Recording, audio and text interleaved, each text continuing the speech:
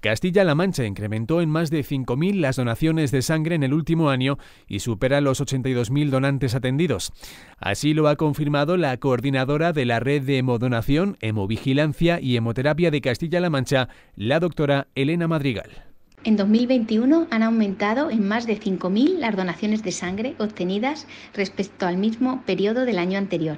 En concreto, se han atendido a 82.122 donantes en toda la red de centros de transfusión puntos fijos hospitalarios y colectas, lo que se traduce en 78.782 donaciones de sangre, plasma y plaquetas, lo que hace que sean 5.367 más que las registradas en el año anterior.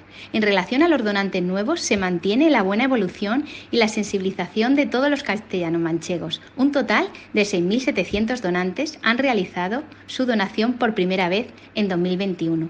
Además, la coordinadora de esta red regional ha puesto en valor el hecho de que se ha mantenido la actividad de donación tanto en los nueve puntos fijos hospitalarios de donación, ubicados en los centros de Albacete, Cuenca, Ciudad Real, Alcázar de San Juan, Puerto Llano, Valdepeñas, Toledo, Talavera de la Reina y Guadalajara, así como en las colectas que se han realizado en todos los pueblos de la región para garantizar los componentes sanguíneos a todos los hospitales de Castilla-La Mancha.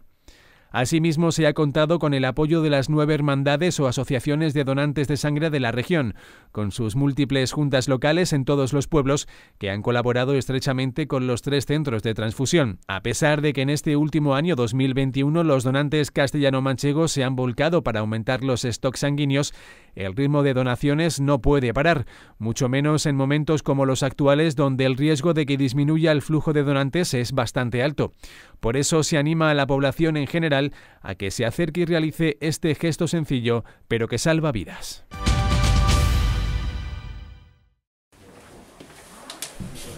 Agentes de la Policía Nacional han detenido en Toledo al principal importador de heroína de España y han desarticulado la organización que presuntamente dirigía.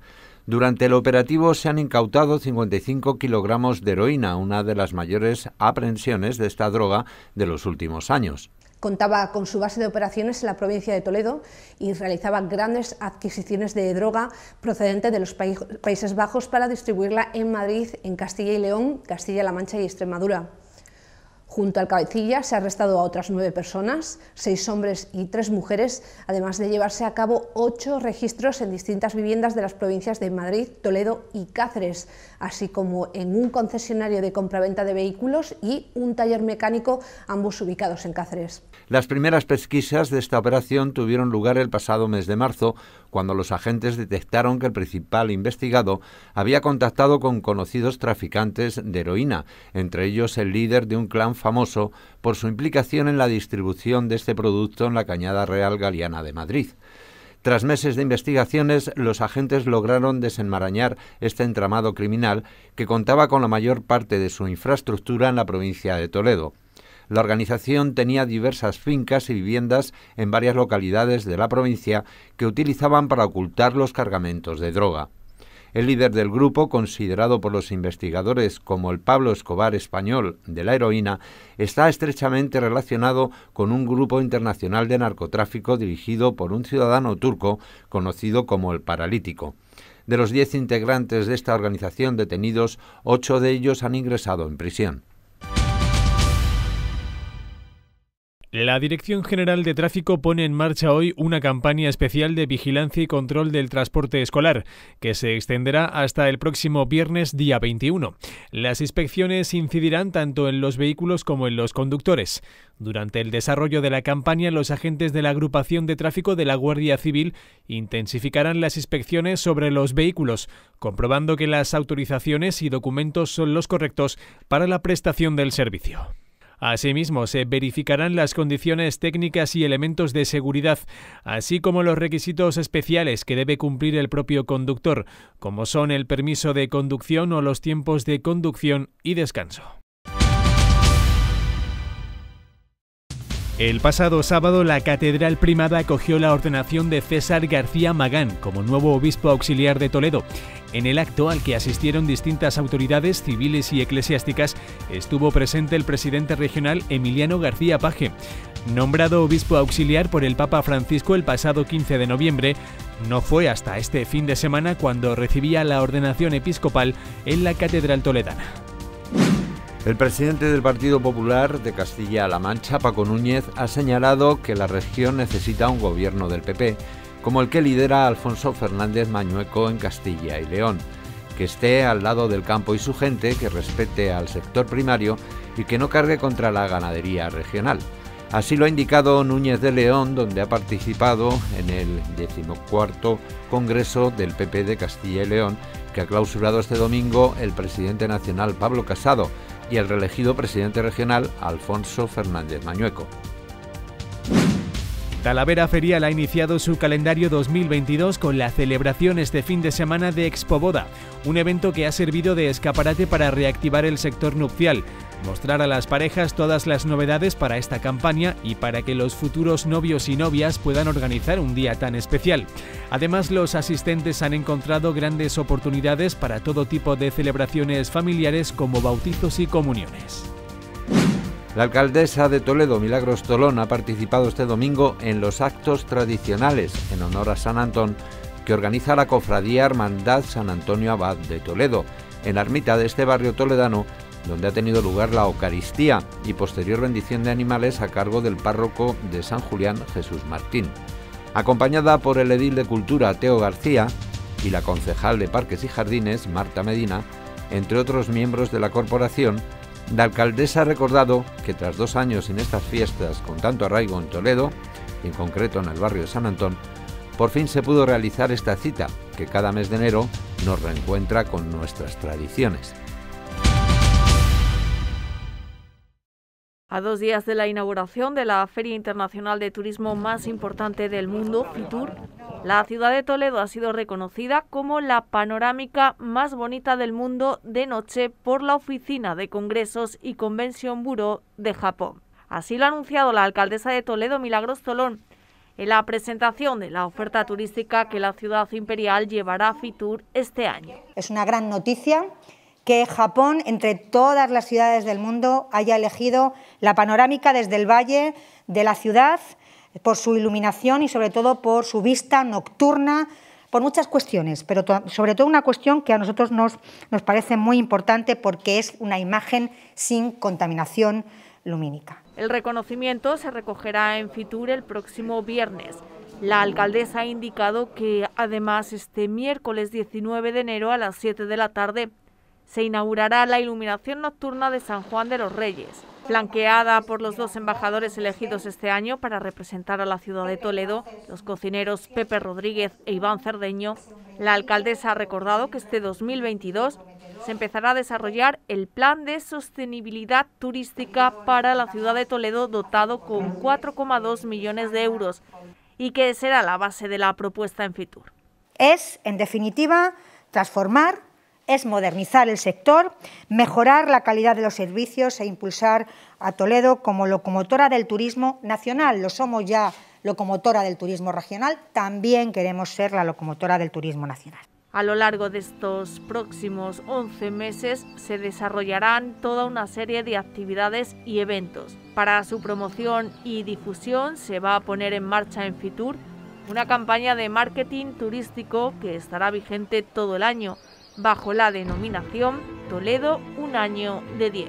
Propondremos 10 planes temáticos dirigidos a públicos concretos y también con intereses específicos que se pueden disfrutar a lo largo de los 365 días del año. Llevamos 16-17 días del mes de enero, de todos los meses del año en la ciudad, pero que nosotros iremos potenciando mes a mes, centrados en el turismo activo, familiar, nocturno, medioambiental, gastronómico, enológico o de salud y bienestar. Entre las experiencias que ofrece Toledo al visitante, la gastronómica ocupa un lugar relevante, como han señalado sus embajadores. Habrá un turismo gastronómico maravilloso que va a venir a disfrutar de un dos estrellas Michelin y se va a dar una sensación grandísima, como esperan de un restaurante así. Pero hay que hacer bastante hincapié, insisto, en esos restaurantes de abajo, donde la gente se tiene que llevar una sensación de un Toledo gastronómico importante. Que Toledo goza de una buena, de una buena salud gastronómica, creo que hay chicos que cada vez lo están haciendo mejor, creo que, oye, las escuelas de hostelería eh, pues están haciendo un buen trabajo, están llegando gente con, con mucho talento. Fitur 2022 se desarrollará en Madrid del 19 al 23 de enero. Toledo estará presente con una amplia oferta en la que lo cultural contará como columna vertebral con el octavo centenario del nacimiento de Alfonso X.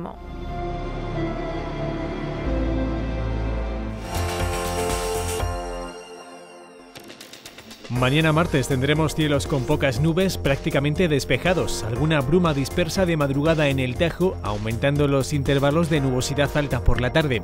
En prácticamente toda la comunidad, las previsiones de la Agencia Estatal de Meteorología indican que habrá heladas débiles y generalizadas, eso sí, más intensas, en el sistema ibérico y en zonas de La Mancha, donde la EMET ha activado el aviso amarillo durante las primeras horas de la jornada. El viento soplará flojo y del este.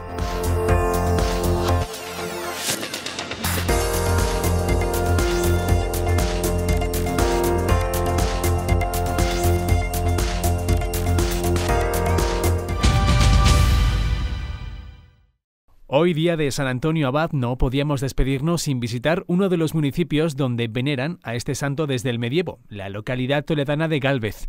Viajando al año 2014 con este reportaje que en su momento hicimos, les decimos hasta mañana. Feliz San Antón.